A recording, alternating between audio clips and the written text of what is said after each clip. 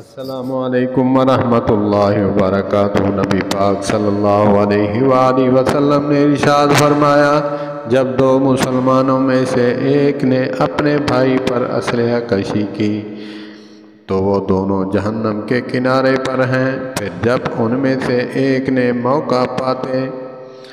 دوسرے کو قتل کر دیا تو دونوں اکٹھے جہنم میں داخل ہوں گے والسلام علیکم ورحمۃ اللہ وبرکاتہ